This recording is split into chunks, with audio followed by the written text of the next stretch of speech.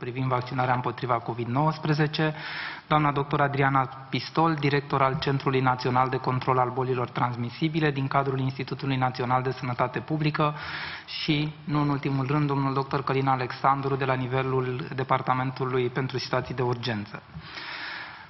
Pot să vă spun încă de la început, din punct de vedere organizatoric, ne dorim ca săptămânal să aibă loc acest tip de uh, briefinguri de presă în care să vă prezentăm activitățile pe care le-am desfășurat în ultima săptămână și să vă prezentăm ceea ce urmează să facem în perioada imediat următoare. Cu permisiunea noastră, mi-aș dori să trec în revistă uh, activitățile uh, pe care noi le-am derulat în uh, ultimele zile. Am pregătit de asemenea un material cu cele mai importante întrebări pe care noi le-am primit uh, pe diferite canale din partea colegilor din mass media, de asemenea și de la alte categorii de persoane interesate de tema vaccinării și am încercat să uh, transpunem în acest material care să fie în folosul dumneavoastră. Aș începe prin a spune uh, și prin a reaminti faptul că pe 26 decembrie în România au ajuns la Institutul Cantacuzino cele aproape 10.000 de doze care uh, a reprezentat tranșa simbolică distribuită simultan în cele 27 de țări membre ale Uniunii Europene. Pe data de 29 decembrie a venit următoarea tranșă, de vaccinuri de circa 140.000 de doze, iar mâine, pe 6 ianuarie, urmează a veni, practic, uh, a doua tranșă uh, importantă de uh, vaccinuri de circa 150.000 de doze.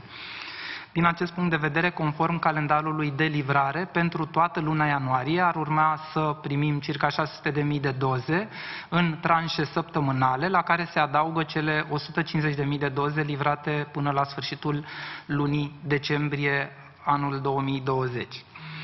În ceea ce privește activitatea propriu-zisă a campaniei de vaccinare, după cum știți, pe 27 decembrie a demarat activitatea de vaccinare în cele 10 unități medicale destinate uh, pentru prima linie împotriva COVID-19, conform Ordinului de Ministru numărul 555 din aprilie 2020. Au fost cele 10 unități uh, medicale de boli infecțioase din țară în aceste uh, centre uh, medicale, în aceste unități medicale, uh, practic au fost vaccinate în total 3317 persoane, reprezentând circa 75% din personalul total al uh, spitalelor respective. Trebuie să luăm în calcul faptul că atunci când recomandăm vaccinarea unei persoane, trebuie ca acea persoană să fie eligibilă pentru vaccinare, adică în primul rând să nu aibă contraindicații medicale, în al doilea rând să um, să-și dorească să facă această vaccinare și, de asemenea, este important ca persoana respectivă să nu fie în cursul unei infecții aflate în derulare sau să nu fie în prima lună de la momentul uh, unei uh, infecții uh, cu SARS-CoV-2.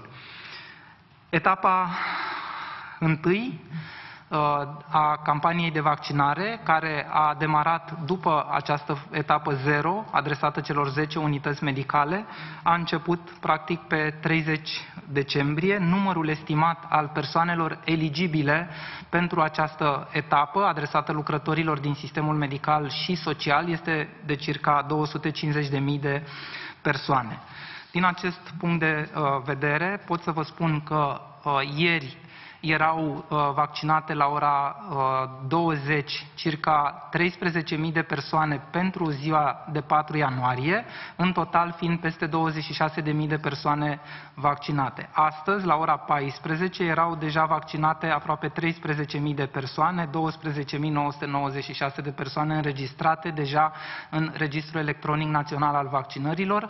Vă reamintesc, programul de vaccinare într-un centru este de la 8 dimineața până la 8 seara și poate să continue și după ora 8 pentru personalul propriu care intră în serviciile de gardă sau turele de noapte. La acest moment funcționează și se vaccinează în aproximativ 251 de centre de vaccinare. Sunt mai multe centre care au fost activate din aceste uh, 376 de centre destinate pentru etapa 1, dar vă menționez faptul că centrele uh, care au început inițial vaccinarea în momentul de față nu au activitate de vaccinare, având în vedere că își vaccinează doar personalul propriu și au și făcut acest lucru până la data la care noi vorbim, dar ele vor asigura mai departe rapelul persoanelor uh, deja vaccinate și, în funcție de evaluarea ulterioară, vom decide care dintre ele pot să rămână în activitate în condițiile în care se îndeplinesc corect toate circuitele pentru celelalte categorii de uh, persoane. În ceea ce privește modalitatea de programare, după cum știm, uh, platforma informatică de programare, platforma națională, este în momentul de față disponibilă pentru programarea tuturor lucrătorilor din sistemul medical și social prin intermediul angajatorului, persoană juridică, de asemenea, uh, pentru persoanele care sau uh, unitățile medicale, cabinete medicale individuale care nu au acea semnătură electronică, programarea se poate face prin intermediul serviciului de call center, care este disponibil și funcțional în toate uh, județele și este asigurat cu personal din rețeaua Ministerului Apărării Naționale și respectiv Serviciul de Telecomunicații speciale, cel puțin pentru prima etapă, tocmai pentru a rezolva toate problemele care um, pot să apară pe parcursul procesului de programare. Etapa a doua a campaniei de vaccinare estimăm că poate să înceapă din a doua jumătate a lunii ianuarie, deci practic după data de 15 ianuarie. În acel uh, moment vom începe cu persoanele care sunt internate în centrele medico-sociale, la acest moment vorbim de circa 1884 de centre medico-sociale și sunt internate, sunt aflate uh, aproape 40.000 de persoane în aceste centre medico-sociale, iar vaccinarea personalului se va efectua prin echipe mobile de vaccinare.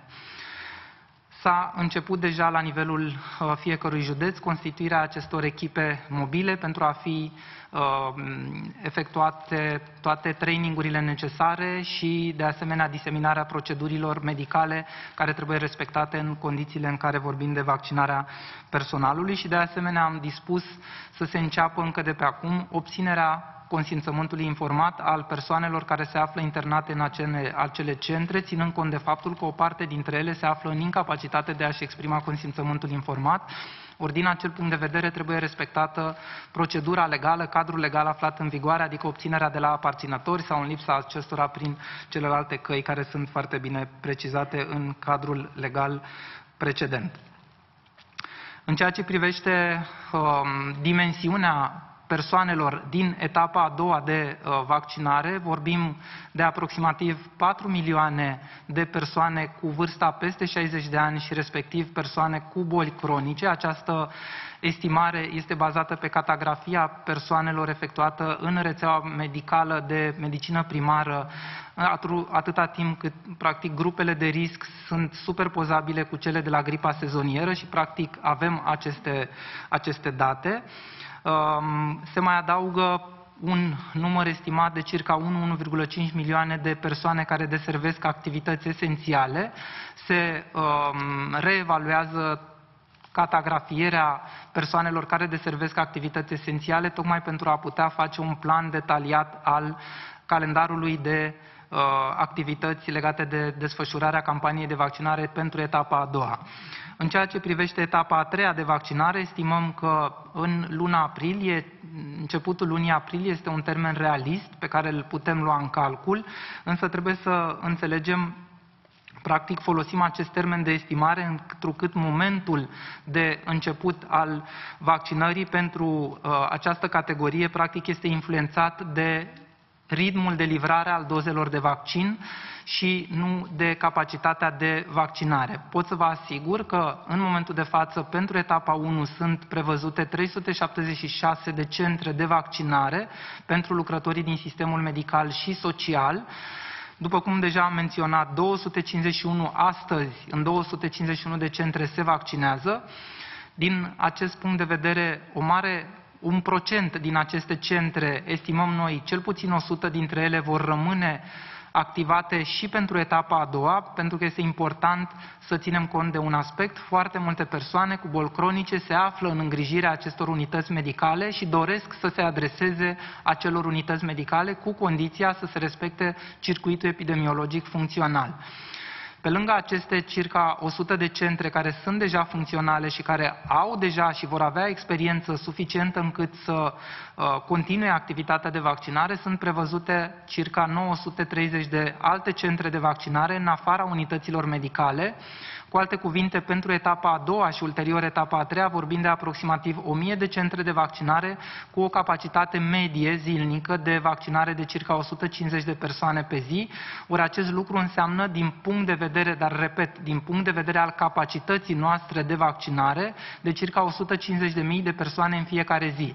Evident că acest lucru trebuie să fie concordant cu ritmul de livrare a dozelor de vaccin. Practic, este aproape imposibil să vaccinăm 150.000 de persoane pe zi, nu că nu am putea, ci pentru că nu vom avea aceste vaccinuri disponibile în acea unitate de timp. Din acest punct de vedere, ceea ce se încearcă la momentul actual este o accelerare a calendarului de livrare a dozelor de vaccin prin negocieri uh, la nivelul Comisiei Europene. Vă reamintesc faptul că România face parte dintr-un demers european, dintr-un contract încheiat de Comisia Europeană cu cele șase companii farmaceutice diferite, care sunt uh, dezvoltatoare ale acestor vaccinuri și rând pe rând, pe măsură ce fiecare companie va primi autorizare, România va primi procent pro rata 4,3% din numărul de doze contractate la nivelul Comisiei Europene, doze care se pot suplimenta în funcție de contractele încheiate de uh, Comisia Europeană. Cam acestea sunt uh, lucrurile pe care eu voiam să vi le transmit în uh, acest moment. Aceasta este situația în care ne aflăm. Ritmul de vaccinare pentru etapa 1 probabil că va fi în creștere. Încă sunt multe persoane care nu s-au programat și care urmează să se programeze în platforma informatică.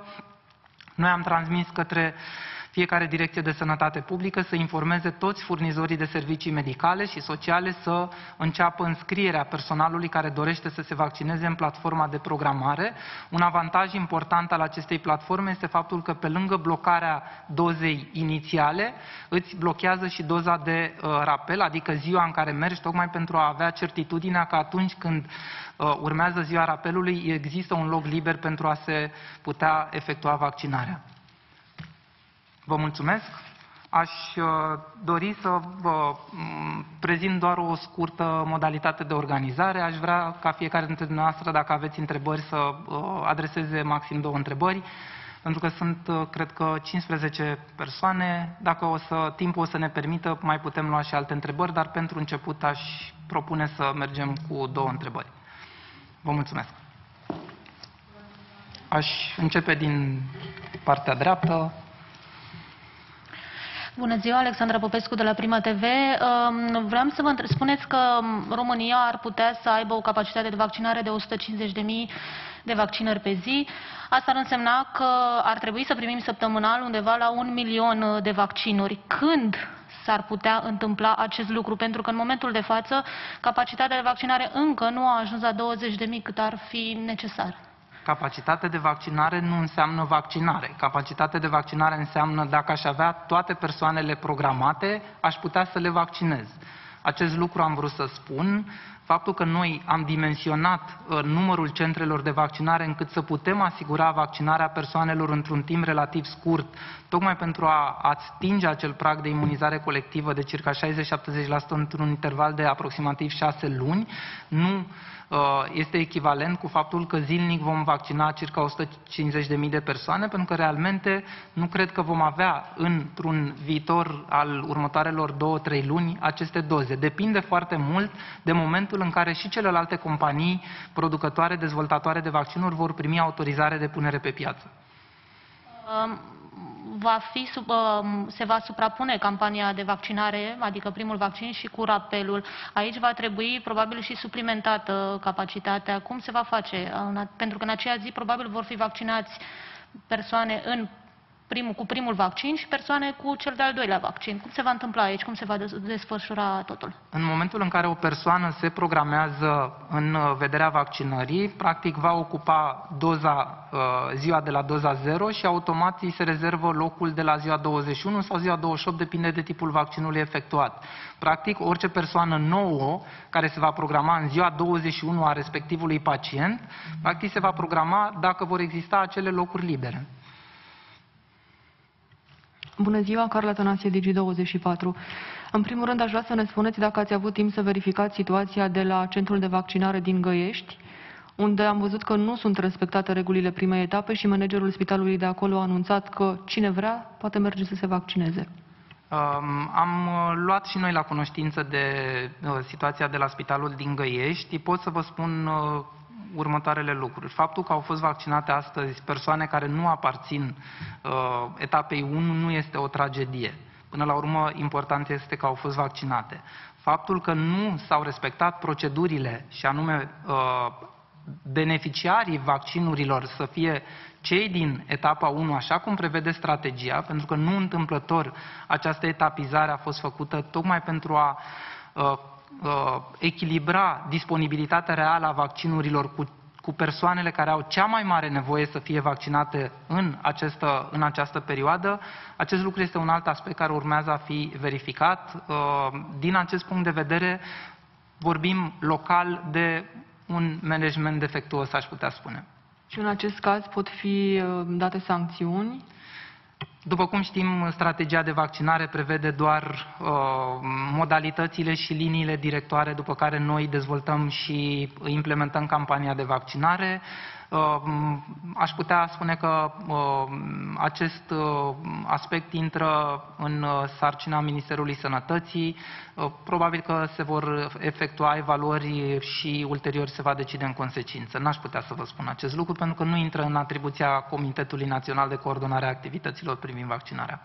Există cumva o situație a vaccinului pierdut? Știm că am văzut că în strategie este prevăzut și acest lucru. Există în acest moment o astfel de situație? Există. Pot să, imediat o să o rog pe doamna doctor Adriana Pistol să vă răspundă. Uh, doar uh, aș menționa faptul că există un risc asumat al unor pierderi de vaccinuri, având în vedere că sunt vaccinuri multidoză, având în vedere că au o stabilitate limitată și uh, acest risc practic este asumat din motive absolut neimputabile, se pot sparge anumite flacoane în momentul în care le reconstitui, uh, se pot întâmpla evenimente care nu țin uh, neapărat de managementul uh, activităților dintr-un centru de vaccinare.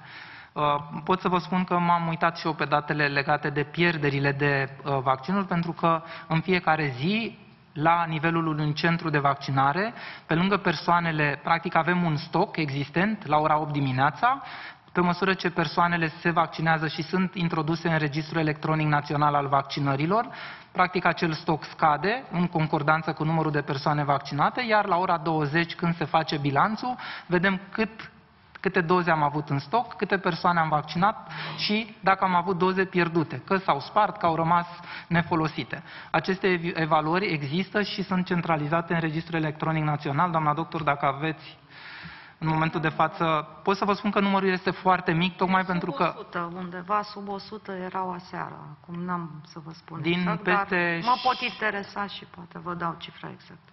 Sunt peste 64.000 de doze deja distribuite, deci practic uh, există un număr, repet, mic de doze asumat că pot să fie pierderi neimputabile. Mai am o singură întrebare, dacă îmi permiteți, în legătură cu medicii care nu au certificat uh, digital. Spuneați că pot suna la call center pentru programare, însă sunt mulți care spun că au sunat, dar uh, le răspunde robotul și atât. Eu ceea ce pot să vă spun și avem colegii de la Serviciul de Telecomunicații Speciale alături de noi, uh, sunt 100% operaționalizate aceste centre, s-au făcut traininguri speciale și este personal special desemnat strict pentru gestionarea sistemului de programare, însă Trebuie să înțelegem că prezența acelei semnături electronice nu este limitativă. Orice persoană care nu are semnătură electronică se poate înscrie și să se vaccineze într-un centru de vaccinare, fie telefonic, fie se poate suna direct la centrul de vaccinare unde este arondat să se programeze. Deci, din acest punct de vedere, există mijloace prin care ne putem programa. Spun că nu știu nici măcar centrul la care trebuie să sune. Adică toate variantele pe care Mm. le spuneți le știm cu toții, numai că ei efectiv nu reușesc să se programeze. În momentul acesta, uh, practic, platforma informatică permite programarea uh, altor categorii de personal medical și social în centre de vaccinare, în afara celor din care ei lucrează. Deci, practic, poți să alegi centrul la care vrei să te uh, vaccinezi, în general se respectă teritorializarea. Adică dacă vorbim de un cabinet medical din sectorul 1, nu va fi programat într-un centru din sectorul 6. Deci, direcțiile de sănătate publică au arondat acești furnizori de servicii medicale către centrele de vaccinare, respectându-se oarecum teritorializarea geografică, fără să fie, repet, nici în acest caz 100%. Eu am uh, transmis cât se poate de clar tuturor direcțiilor de sănătate publică și centrelor de vaccinare să primească orice persoană care se prezintă la centrul de vaccinare, pentru că noi, ceea ce ne interesează în ultimă instanță este ca persoanele să beneficieze de vaccinare. Dacă colegii de la Serviciul de Telecomunicații Speciale doresc să facă ceva mențiuni față de această întrebare legată de call center, eu știu că sunt funcționale. Bună ziua, mă numesc Cărin Mara, sunt de la Serviciul de Telecomunicații Speciale. Call center-le sunt funcționale, uh, sunt asigurate cu personal al Ministerului Apărării Naționale și în sprijin colegi de la noi pe parte tehnică, strict pentru a asigura suport tehnic. Sunt funcționale, din câte am văd eu pe propriile grupuri de colaborare, se înscriu foarte mulți medici fără nicio problemă. Puteți să verificați la un call center, lista call center-urilor este pe site. Domnul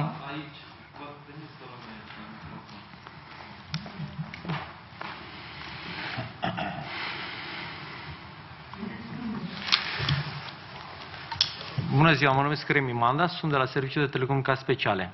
Asigurăm asistență tehnică și toate serviciile de comunicațiile din call center. Personalul este asigurat de Ministerul Apărării Naționale. În fiecare call center, cum spunea și domnul președinte, eh, domnul doctor Gheorghiță, sunt în momentul de față câte doi, eh, sunt două console funcționale cu personal MAPN și în sprijin avem un coleg de la Serviciul de Telecomunicații Speciale. În dimineața aceasta știu foarte bine că s-au programat destul de mulți medici pentru vaccinare prin cadrul call center-urilor. Uh, Datele contact de la call center sunt trecute pe platforma națională. În momentul în care accesați tabul Programează-te, uh, există un uh, buton pentru suport și acolo sunt datele de contact. Puteți verifica sau puteți să vă programați, să pot, se, se pot programa medicii la unul dintre numele de apel acolo, funcție de județul din care, unde locuiesc sau unde au rezidență, de fapt. Vă mulțumesc. Aș completa întrebarea anterioară cu pierderile. Ne-a venit uh, răspunsul. Sunt 87 de doze declarate, practic, irosite sau pierdute, cum vreți noastră. Motivul este acesta că nu, în momentul în care cadrele medicale se programează, nu vin și au- astfel Nu. au fost pierdute sau care sunt motivele? Vă dau un exemplu al zilei de ieri. În platforma de programare erau circa 10.800 de persoane și s-au vaccinat circa 13.000 de persoane din sistemul medical. Deci, din acest punct de vedere, repetate și vor fi uh, ținute în continuare. Iar în ceea ce privește uh, rata de vaccinare în rândul personalului medical, este de la sine înțeles și nu ne așteptam să fie de 100%. Fiecare are motivele lui pentru care dorește să se vaccineze și respectiv cei care nu doresc cu siguranță au niște motive pentru care nu fac uh, acest lucru. Uh, după cum știm, studiile din momentul de față arată un procent de circa 30-35% dintre persoane care în momentul de față ezită sau doresc să amâne decizia în ceea ce privește vaccinarea. Cred că în acest caz este important să continuăm demersurile de comunicare și de informare, pentru că de- decizia de a amâna sau uh, ezitarea nu reprezintă, dacă vreți, un refuz, ci reprezintă o nevoie reală de mai multă informare pe tema acestui subiect. Bianca Iacob, observator Antena 1. Spuneați uh, dumneavoastră că etapa a doua va începe undeva după 15 ianuarie. Premierul spunea astăzi că de săptămâna viitoare. Sunt gata centrele? Nu sunt gata pentru etapa a doua? Sunt uh, autorități locale în apropiere de București care spun că nu sunt gata cu amenajarea, nici cu avizele. Etapa a doua de, uh, a campaniei de vaccinare, așa cum am spus, începe cu vaccinarea persoanelor care sunt în momentul de față internate în centrele medico-sociale. Din acest punct de vedere, vaccinarea se realizează cu echipe mobile, deci legat de acest aspect, nu, lucrurile clar sunt uh, în timp și vor fi respectate. În ceea ce privește echiparea propriu-zisă a celorlalte centre de vaccinare și obținerea avizelor necesare, acest lucru va fi uh, va fi finalizat în perioada zilelor următoare și rând pe rând, așa cum am mai precizat deja, în momentul în care un centru este gata, intră în funcțiune. Bun, a apărut un articol în uh, presa locală că la Slobozia vaccinul ar fi ajuns în cutii de pizza. Știți despre această situație? Nu știu despre această situație. Cutiile uh, care sunt livrate de producător sunt asemănătoare unei cutii de pizza, într-adevăr, dar uh, conțin cele 195 de flacoane. Are, uh, este doar o întâmplare să semene foarte mult, într-adevăr, cu o cutie de pizza, așa sunt ele livrate. Practic, un uh, pachet uh, conține 5 astfel de cutii, ceea ce înseamnă aproximativ 5.000 de doze. Bun, și despre implicarea medicilor de... de... Bianca, o secundă, deschid articolul despre care vorbește colega mea, sunt cutii de pizza. Vă putem arăta fotografiile. Da, scuzați-mă că intervin, dar și eu mă uit la fotografie și scrie pizza pe cutie. Cred că sunt Cu niște cutii de pizza. Vă trimitem linkul, uitați-vă, dacă îmi permiteți Da, să mă apropii, cred că vă arăt este- fotografia. Am înțeles. Vă cred. Cred- Dați-mi voie să vă spun că vă cred. Nu știam acest uh, aspect. Însă cred că acest lucru nu are importa, adică nu are legătură cu siguranța în care sunt transportate, este doar o modalitate în care sunt separate acele doze din, uh, din uh, uh, pachetul inițial, din modalitatea de ambalare inițială. Important este să se respecte lanțul de frig, pentru că ele nu sunt transportate efectiv în cutii de uh, carton, ci sunt în uh, cutii frigorifice cu data logere care monitorizează în permanență temperatura. Iar acest lucru se poate proba în orice moment, pentru că este o datorie a noastră de a asigura condițiile lanțului de frig. Bun, și despre implicarea medicilor...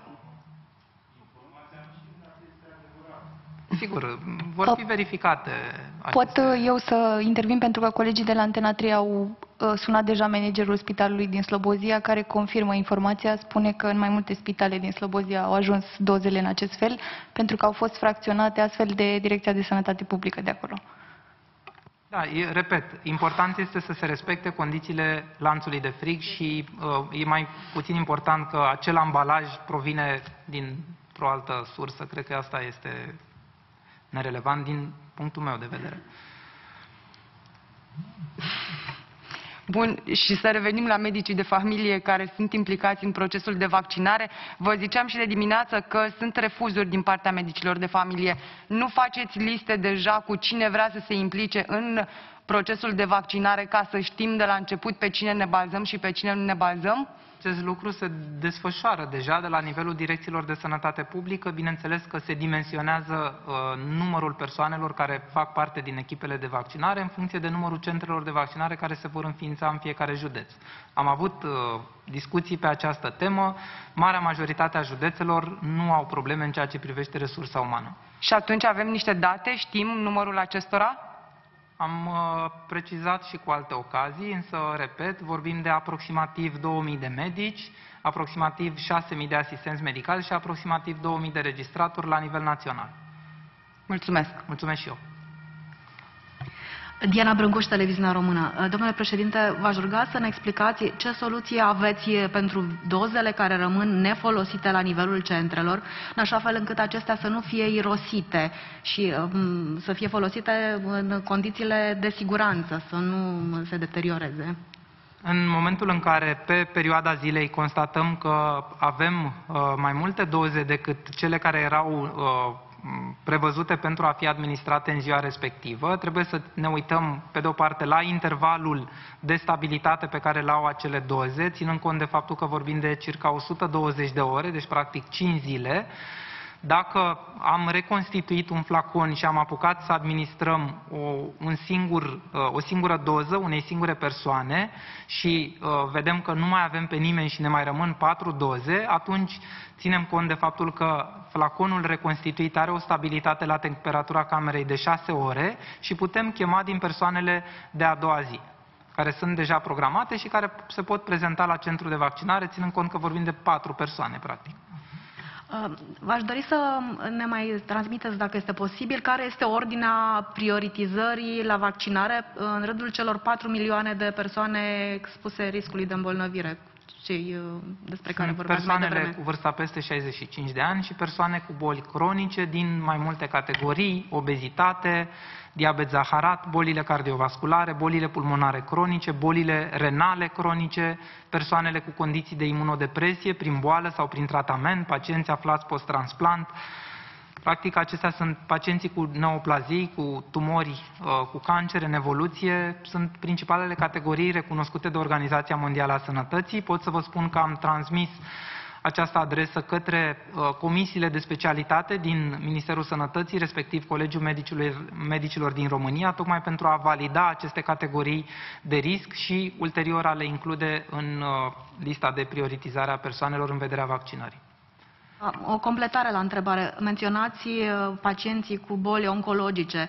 În uh, rândul lor sunt uh, tot felul de discuții că pot să se vaccineze, nu pot să se vaccineze. Sunt discuții la nivelul persoanelor cu boli, cu tulburări de coagulare a sângelui, care încă nu au foarte clare aceste informații, dacă este sigur pentru ei să se vaccineze sau nu. Ce le transmiteți? Sunt două aspecte pe care aș vrea să le uh, dezbatem. Cel legat de persoanele cu condiții de imunodepresie prin acest gen de, de afecțiune. Nu este vorba de contraindicația de administrare a vaccinului, ci faptul că nu știm cât de, cât de prompt va fi răspunsul imun după vaccin, dar este un aspect care este valabil pentru toate vaccinurile uh, și nu în mod particular pe vac- pentru vaccinul împotriva COVID-19, cu mențiunea doar a vaccinurilor care nu includ uh, virusuri vii atenuate, adică uh, virusuri uh, sau alte tipuri de agenți patogeni atenuați care se pot redeștepta, dacă vreți, la persoanele sever imunodeprimate. Dar în cazul vaccinului împotriva COVID-19 nu există o precizare legată de contraindicație la această categorie de persoane. În schimb, ceea ce nu putem ști și ceea ce uh, este precizat inclusiv în recomandările din rezumatul caracteristicilor produsului, nu putem anticipa care este nivelul de protecție pe care îl va obține respectivul pacient după vaccin, având în vedere că răspunsul propriu al uh, imunității, al organismului, este deficitar. În ceea ce privește tulburările de coagulare, fie printr-o boală, fie induse terapeutic, la persoanele care urmează tratamente anticoagulante, Dimensiunea acului care se folosește pentru administrarea vaccinului este foarte mică, vorbim de ace de circa 23 de gogi, adică trauma pe care o produce este uh, nesemnificativă, însă din precauție la pacienții care au tulburări severe de coagulare, aici trebuie să amânăm administrarea vaccinului și în colaborare cu medicul cardiolog sau hematolog vom lua decizia potrivită pentru pacientul respectiv. Bună ziua, Raluca Bărca, Antena 3. Uh, vis-a-vis de situația din Găiești, voiam să vă mai întreb, uh, vorbeați despre un uh, management defectuos, dar mai exact la ce ne referim? La faptul că au fost cerute mai multe doze decât medici înscriși pentru a primi serul sau care a fost situația mai exact acolo? Nu, eu cred că dacă anticipăm că ne vor rămâne doze și uh, vor expira, putem să chemăm persoane care sunt programate a doua zi și care aparțin lucrătorilor din sistemul medical și social. La acest lucru m-am referit, adică cred că putem gestiona la nivelul unui centru de vaccinare aceste uh, aspecte, încât să reducem la minimum posibil riscul să ne expire într-adevăr dozele uh, pe care le avem sau care sunt deja reconstituite. Asta nu este un motiv să uh, afirmăm că putem vaccina pe oricine. Repet, nu acest lucru este, uh, este problema. Până la urmă, foarte bine că au, au fost vaccinate respectivele persoane. Important este cum corectăm aceste lucruri încât cei care au cel mai mare nevoie în momentul de față de acest tip de vaccin să aibă acces la el. Și o altă întrebare legată de cadrele didactice. Voiam să vă întreb dacă în etapa a doua uh, profesorii vor uh, reprezenta o categorie prioritară în vaccinare. Da, este prevăzut în strategia de vaccinare. Uh, personalul din învățământ este inclus în personalul care deservește activitățile esențiale. Bianca Ogarcă, B1 TV. Foarte multe persoane cu vârsta de peste 50 de ani iau anticoagulante ca urmare a unor uh, afecțiuni cardiovasculare. Aceste persoane se pot vaccina? Uh, răspunsul uh, este similar cu ceea ce am răspuns anterior. Sunt două tipuri de, sau două clase mari de medicamente care produc, dacă vreți, sau sunt asociate cu un risc de sângerare. Vorbim de medicamentele antiagregante plachetare de tipul aspirina sau alți derivați. Uh, din acest punct de vedere nu există o contraindicație, dar la pacienții care iau tratamente anticoagulante propriu-zise, dicumarinice sau alte tipuri de anticoagulante, repet, prin colaborare cu medicul cardiolog, medicul curant al pacientului respectiv, se poate lua cea mai bună decizie pentru administrarea vaccinului respectiv. Nu este singura situație. Trebuie să înțelegem că avem un program național de vaccinare pentru multe alte tipuri de vaccinuri și în fiecare caz se pot găsi soluții pentru a se uh, a, asigura accesul persoanei respective la vaccinare, sigur, uh, uh, menținând siguranța pacientului în primul rând. Cătălin Condruț, Mediafax. Atunci când ați prezentat strategia, spunea, vorbeați de 500 de mii de oameni în etapa întâia, uh, persoane cartografiate în sistemul medical. Acum ne vorbiți de 250 de mii. Asta înseamnă că un medic din doi, un angajat din sistemul sanitar din doi, refuză să se vaccineze? Persoanele care sunt uh, în momentul de față uh, estimate a fi circa 250 de mii, Uh, sunt, uh, nu reprezintă persoanele care doresc să se vaccineze, ci reprezintă eșantionul estimat real al persoanelor din uh, etapa întâi, la care noi avem în momentul de față date. În ceea ce privește uh, numărul estimat inițial, uh, așa au reieșit, însă în momentul în care am reevaluat toate aceste date, respectiv angajații din sistemul medical și social, acesta este numărul estimat pe care îl avem. Chiar dacă va fi mai mult sau mai puțin, pe noi ne interesează să creăm accesul fiecărei persoane din, acest, din această etapă la vaccinare, indiferent că vorbim de un număr mai mare de persoane sau mai mic. O cifră concretă avem acum? Nu putem vorbi de o cifră concretă, este o estimare de circa 250.000 de persoane. Bun. Întrebarea 2 este următoarea. Ați vorbit de 366 de centre de vaccinare. Uh, ieri premierul Cățu vorbea de 230 de centre deschise ieri. De unde vine această diferență? Astăzi, de pildă, sunt 251 de centre unde se vaccinează. Mâine s-ar putea să fie mai multe sau mai puține. Repet, sunt centre care își vaccinează personalul propriu și atunci când au terminat de vaccinat personalul propriu cu prima doză, ele nu mai înregistrează activități de vaccinare. Deci de aici reiese uh, cifra care variază de la o zi la alta, pentru că vorbim de centrele care vaccinează propriu zi și care înregistrează persoane vaccinate în ziua curentă în care facem raportarea. Ioana Răduca, Alef News. În primul rând, aș vrea să ne explicați un pic ce întreba și colega de la Antena 3 legat de profesori.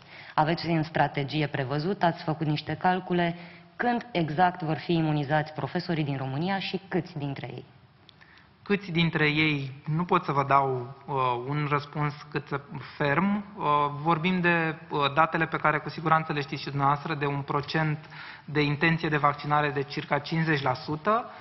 Vom vedea în final care va fi intenția reală de vaccinare și efectiv persoanele care se vor vaccina din acest domeniu al uh, învățământului, ceea ce ține de noi și de uh, organizarea campaniei de vaccinare este să creăm mediul favorabil prin care aceste persoane, dacă doresc să se vaccineze, să aibă acces la vaccinare. Momentul exact în care se va întâmpla acest lucru și accesul personalului din învățământ urmează a fi uh, stabilit în perioada următoare, dar și aici lucrurile nu trebuie privite matematic, pentru că vorbim de un proces dinamic și care depinde de ritmul de livrare, repet, al dozelor de vaccin și de uh, adresabilitatea persoanelor către centrele de vaccinare. Insist cu întrebarea pentru că e o problemă reală în societate. Sunt foarte mulți părinți, profesori care doresc să se reîntoarcă în școală și care își puneau speranțele în vaccin. La această oră, dumneavoastră sau colegii dumneavoastră, pot avansa, măcar estimativ, o dată la care știm, dacă tot spuneți că i-ați trecut în categorie prioritară pe profesori, de când începem măcar să-i numărăm și de când am putea să imunizăm?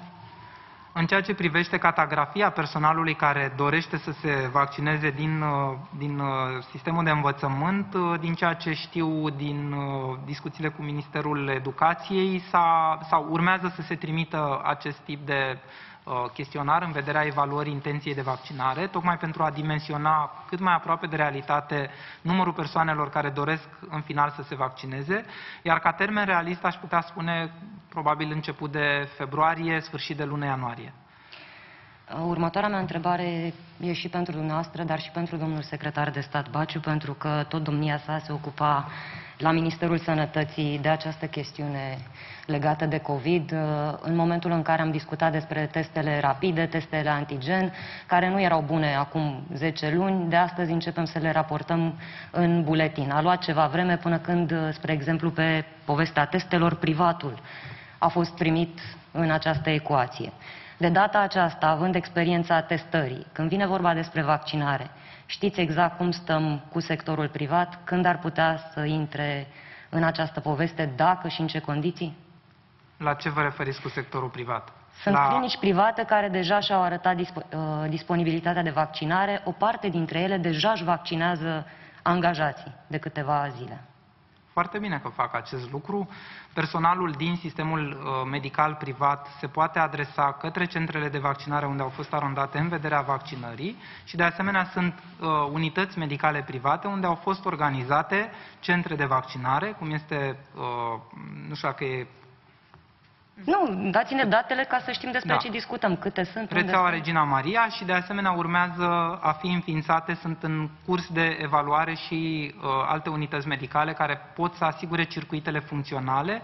Nu este vorba de o reticență a Direcției de Sănătate Publică vis-a-vis -vis de organizarea unui centru de vaccinare în aceste unități medicale private, ci de îndeplinirea unor condiții în care să se respecte un circuit funcțional. În sensul în care, în acel spațiu, nu trebuie să fie uh, persoane care vin de pildă cu o simptomatologie în vederea unei consultații medicale și persoane care stau alături la un alt cabinet care doresc să se vaccineze. Deci, din acest punct de vedere, trebuie circuite complet separate.